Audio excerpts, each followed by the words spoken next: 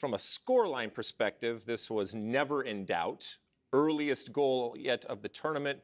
Uh, Pop goes the world, all sorts of uh, uh, goals for Germany. They ultimately win 6 0. Uh, Ari Hingst was wearing her German jersey, screaming and yelling. She had told me before the game that she thought that the trend was going to hold not to have these lopsided types of results, and that she thought that while Germany was going to win because, well, it's Germany, uh, she thought it was only going to be 1 2 to, to null. Uh, and so this ends up being a complete rout, but not in like a, a, route where it was embarrassing, and not in a route where I, I think that the way that I now think about Germany is bolstered and improved after this result. A reminder Germany is Doug McIntyre's dark horse Ooh. at this World Cup. Number two ranked, two time World Cup winning Germany. and he wonders. That's how Doug rolls. He wonders why Laken Littman is getting all the plum oh, assignments. Wow. Uh, but no, I was impressed by Germany. Popp got two goals, Buhl and Schuler on the score sheet as well. They did benefit from two own goals.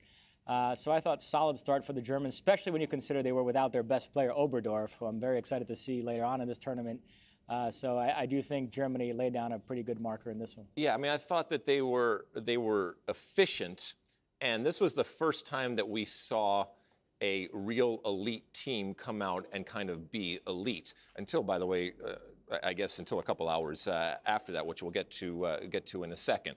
Uh, we all through the night we were joking on air about my. Um, uh, about my power rankings and stuff like that. And while I was watching this German game, they absolutely started to go up and up and up in my uh, in my estimation. And to your point, it, this isn't just some team. This is already an elite team. But we've seen where elite teams aren't necessarily looking elite. And again, first games, early days. But as far as Germany coming in and kind of, uh, as John Strong during the uh, the game was saying, you know, planting that flag, show, uh, putting that marker in, this was definitive. This was Germany is here, and this is a Germany that is formidable uh, in, in, a way that maybe they haven't been in the past, but one that uh, means you're going to have to look uh, look at them.